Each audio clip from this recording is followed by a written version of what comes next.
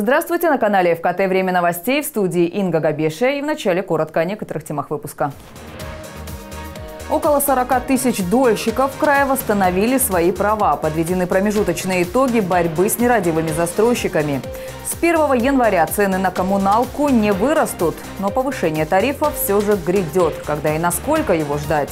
В Сочи спасатели помогли пожилому пловцу выбраться из морского плена. Пенсионер не мог покинуть волнорез.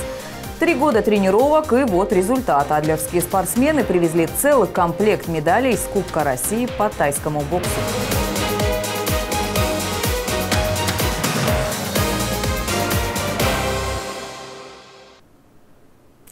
Маршрут, который объединит регионы. Проект «Золотое кольцо Боспорского царства» представил губернатор Краснодарского края на межрегиональном форуме Казахстана и России. Он посвящен новым подходам в развитии туризма.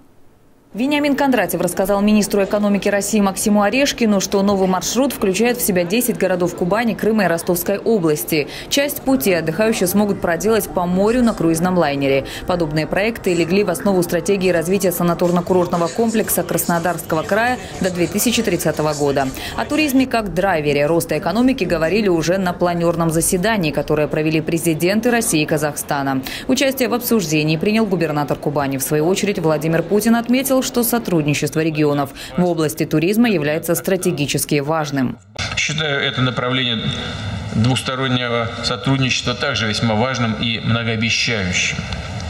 Туристическая индустрия обладает внушительным экономическим потенциалом, вносит значительный доход в бюджеты, как федеральные, так и местные, создает рабочие места, стимулирует малое и среднее предпринимательство – в России многое делается для продвижения внутреннего и въездного туризма. Хотел бы отметить, что в мае была утверждена соответствующая концепция до 2025 года. Ее реализация призвана сделать туристический сектор эффективным и высокодоходным, а также придать дополнительный импульс социально-экономическому развитию регионов. Кубань, в свою очередь, является главным курортом России. Только в этом году здесь отдохнули почти 16 миллионов человек. Активное развитие в регионе получают агротуризм и санаторный отдых. С начала года запущены 26 новых туристических маршрутов. Около 40 тысяч дольщиков края восстановили свои права. Зам генерального прокурора страны Андрей Кикать и глава Кубани Вениамин Кондратьев подвели промежуточные итоги совместной работы в борьбе с нерадивыми застройщиками. На оперативное совещание в Ростов-на-Дону приехали и главы муниципалитетов, где больше всего насчитывается проблемных домов. Это Краснодар, Сочи и Новороссийск. Андрей Кикать отметил положительную динамику в решении проблемы обманутых дольщиков. Значительную роль в этом сыграл принятый закон, который встал на защиту участников долевого строительства. Это дало возможность региональным и муниципальным властям найти инвесторов, которые помогут достроить проблемные дома. Мы кардинально перестроили работу правоохранительного блока для справки хочу сказать, что с ноября 2017 года а, было возбуждено 205 уголовных дел. Из них 170 а, уголовных дел это в отношении застройщиков и 35 в отношении должностных лиц органов власти, местного самоуправления и иных должностных лиц. 64 обвиняемых по этим делам на сегодняшний день арестовано, 31 обвиняемых помещен под домашний арест. Ну и хочу сказать, что работа продолжается. Сегодня даже местные инвесторы, местные строительные компании, э, они максимально загружены проблемами дальнейшего завершения строительства домов обманутых дольщиков, поэтому строительные компании нами сегодня привлекаются и из других регионов. Все необходимые механизмы и правовые, и э, с точки зрения алгоритма действий есть, но тем не менее есть объективно дома, которые в ручном режиме требуют разрешения с точки зрения и правового выхода, ну и подбора того инвестора, который их будет достраивать. Нам ничего не остается, как привлекать, еще раз подчеркиваю, компании строительные из других регионов. Масштабная работа по защите прав обманутых дольщиков началась в ноябре прошлого года. И, как отметил Вениамин Кондратьев, права людей будут отстаивать до тех пор, пока каждый из них не получит свои законные квадратные метры. Я, в первую очередь, поблагодарить э, вас лично, Андрей Владимирович, за принципиальную защиты прав обманутых дольщиков, которые вы э, проводите, проводите системно, целенаправленно в Краснодарском крае. Результат сегодня налицо. И, конечно, мы сегодня говорим о том, что и правовая база есть для того, чтобы права дольщиков были восстановлены. Запущен механизм на системной основе, что принципиально важно. Помощь дольщикам превратилась из акций настоящую, последовательную, еще раз подчеркну, системную работу. И это сегодня важно. Пока люди не поселятся в своих квартирах, не зарегистрируют свое право собственности на конкретное жилье, эта проблема снята не будет. Мы это отчетливо понимаем. Пока мы не закроем, еще раз подчеркиваю, в целом реестр и подведем черту под последним дольщиком, проблема, конечно, закрытой считаться быть не может. До конца года в крае планируют ввести в эксплуатацию 47 проблемных объектов. Сегодня достроено уже 35 домов. Татьяна Говоркова, телекомпания «ФКТ». С 1 января тарифы на коммунальные услуги не повысятся. Увеличение произойдет чуть позже. Сегодня в администрации города состоялось выездное совещание краевого органа ценового регулирования. Руководство региональной энергетической комиссии провело с сочинскими коллегами информационно-разъяснительную работу. На встречу с заместителем руководителя региональной энергетической комиссии пригласили представителей ресурсоснабжающих организаций курорта и управляющих компаний. Посвятили встречу вопросам предоставления коммунальных услуг и ограничений роста размера платы граждан за коммунальные услуги. Озвучил Денис Негреба коллегам и итоги тарифного регулирования, отметив, что все параметры за 2018 год по краю выдержаны и составили 4%. Что касается традиционного повышения тарифов на коммунальные услуги 1 января, января, то оно не произойдет. С 1 января тарифы не повысятся. Тарифы у нас, а, как принято решение, будут повышаться с 1 июля. Но это, к сожалению, необходимое решение, потому что инфляция все-таки есть. А, газ, на основе которого производится тепловая энергия, а, растет в цене. Электроэнергия тоже в основном производится на газе, тоже растет. Соответственно, инфляционный процесс они все-таки толкают тарифы на коммунальные услуги вверх. Происходить это будет в пределах индексов в соответствии с постановлением правительства. Это в целом по Краснодарскому краю 4%. И я скажу более, что а, фактически мы выдерживаем индекс повышения платы граждан в размере 3,7%. Повышение тарифов оно связано с необходимостью а, инвестиционных программ, снижения износа этого оборудования, на которое фактически оказывают IT-услуги. К сожалению, длительное время ничего не обновлялось. Поэтому для того, чтобы постепенно приводить к необходимому уровню оказания услуг, ну, к сожалению, тарифы должны несколько подрастать. Что касается тарифа на вывоз мусора, то он зависит от наличия мусорного полигона в городе. В настоящий момент услуги по сбору и вывозу твердых коммунальных отходов, они а, являются конкурентными. Регулируется тарифом захоронение и обработка отходов, а также, если а, по определенной географической зоне, в частности это Краснодар-Одинский район, выбран региональный оператор. Там в целом обращение с твердыми коммунальными отходами. В остальных случаях, как я уже сказал, это конкурентное поле, соответственно, на договорной основе. Так вот, в Краснодарском крае только один есть региональный оператор. Это мусороборочная компания. В Сочи на до сих пор региональный оператор не выбран, который относится к Белореченскому полигону, город Сочи. Но это вопрос, который необходимо совместно решать муниципалитету, краевым властям. В Сочи спасатели помогли пожилому пловцу выбраться из морского плена. В отряд МЧС обратился охранник пляжа санатория Черноморье и сообщил, что на волнорезе находится человек, которому требуется помощь. Мужчина стоял на самом конце волнореза и не мог выйти на берег, так как в середине бетонной конструкции был разлом. Спасатели помогли 79-летнему пловцу переправиться и предложили медицинскую помощь. Но мужчина отказался, сказав, что чувствует себя хорошо. Он сообщил, что всегда купается купается в море в это время года. Вот только выплыть на берег долго не мог. Волной его затягивало обратно, а сил оставалось все меньше. Единственное, что ему удалось, залезть на ближайший волнорез, который, к сожалению, оказался непроходимым. В Сочи с 12 по 23 ноября проводится всероссийская антинаркотическая акция «Сообщи, где торгуют смертью». Если вам что-либо известно о фактах незаконного оборота и потребления наркотиков, произрастания наркосодержащих растений или если у вас есть предложение по повышению эффективности профилактики наркомании, лечения и реабилитации наркозависимых, обращайтесь по указанным телефонам. Конфиденциальность гарантируется. К новостям вернемся после прогноза погоды и короткой рекламы. Не переключайтесь.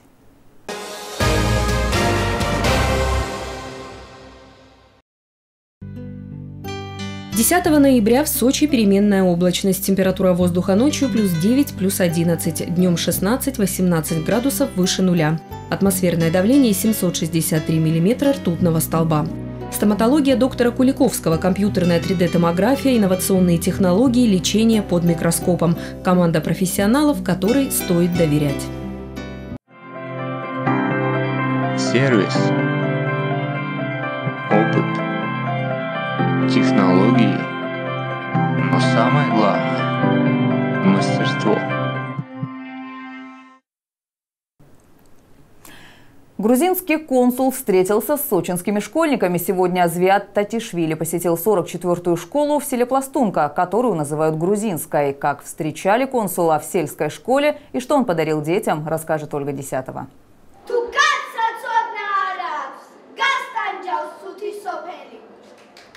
Высокого гостя в школе встречают по-грузински гостеприимно. Дети помладше читают стихи на грузинском, те, что постарше, танцуют.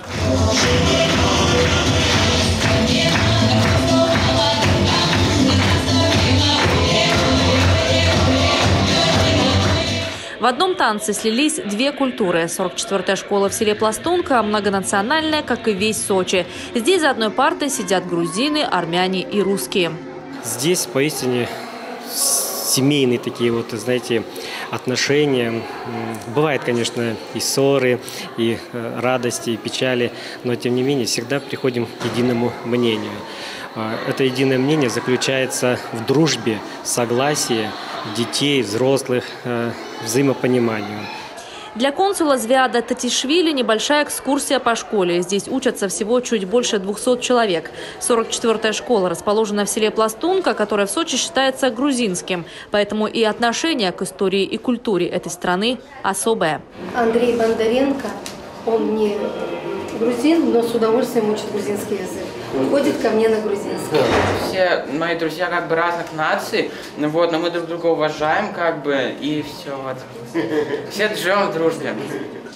И таких, как Андрей, в школе почти четыре десятка. Все они посещают кружок, где учат грузинский. Теперь делать это будет еще проще и приятнее. Консул подарил школе книги. Это и русско-грузинский словарь, и сборники рассказов, и прописи. Таких книг на грузинском в местных книжных магазинах точно не найдешь.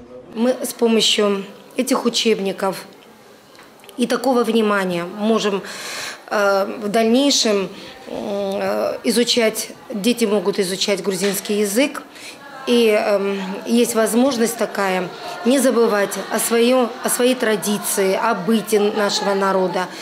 Э, и это очень значимое дело, действительно. Не обошлось и без большого застолья, естественно, с блюдами традиционной грузинской кухни. Ну а после все переместились в школьный двор. Там консул Звят Татишвили высадил дерево. В общем, я в восторге. Видно здесь, что так э, поддерживает так, грузинский дух, грузинская школа, но в действительности это многонациональная школа, как мы сказали, здесь учатся как грузины, армяне, русские. И вот это пример. Саженец пополнил аллею фруктовых деревьев, которую здесь заложили совсем недавно. Но назвали ее символически – аллея дружбы. Здесь рядом будут расти привезенные из Грузии и пустившие корни в сочинской земле яблони, груши и персики. Ольга Десятого, Николай Тихонов, телекомпания «ФКТ». В Сочи впервые пройдут Щербаковские чтения. Их инициаторы – городские организации Русского географического общества и Российского общества историков-архивистов. 11 ноября в Центральную библиотеку приглашают всех, кому интересна история региона. Тема чтений – «Сочинское краеведение сегодня. Достижение проблемы перспективы». Чтения носят имя недавно ушедшего из жизни краеведа Сергея Николаевича Щербакова. Он оставил после себя богатое краеведческое наследие и стремился объединить разрозненные силы исследователей Сочи Сочи в самых различных аспектах. Проект планирует объединить краеведов, сочинских экскурсоводов, преподавателей краеведческих дисциплин, работников культуры и студентов. Требования к выступлениям, достоверность сведений и не более 10 минут на доклад. Материалы чтений войдут в очередной выпуск альманаха «Сочинский краевед».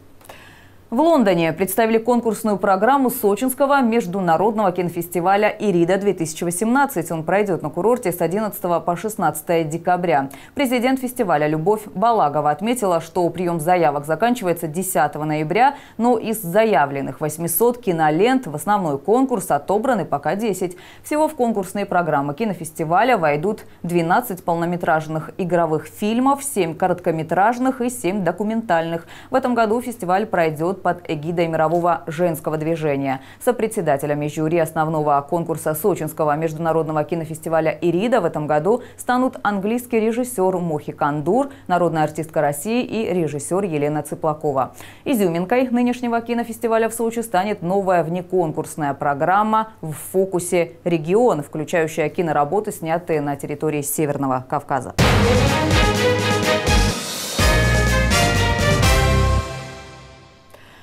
Игра международного масштаба на Краснодарском поле. Сборные России и Намибии проведут товарищеский матч по регби в кубанской столице.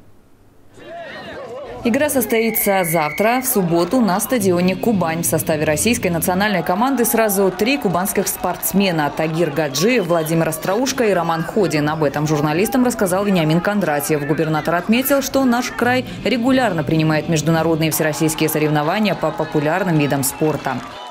Не первый раз краевая столица принимает матчи такого уровня. Весной этого года на Краснодарском стадионе уже прошли три матча с командами Испании, Бельгии и Грузии. Игры собрали свыше 20 тысяч зрителей. А завтра на поле выйдут три кубанских спортсмена из регби-клуба «Кубань». Будем болеть за наших. Важно, что на такие матчи приходят и взрослые дети. Тысячи мальчишек могут воочию наблюдать за лучшими регбистами планеты. Главный тренер сборной России по регби Лин Джонс уже называет предстоящую игру испытанием для команды. Ведь соперник – сборная Намибии – вторая по уровню мастерства команда с африканского континента.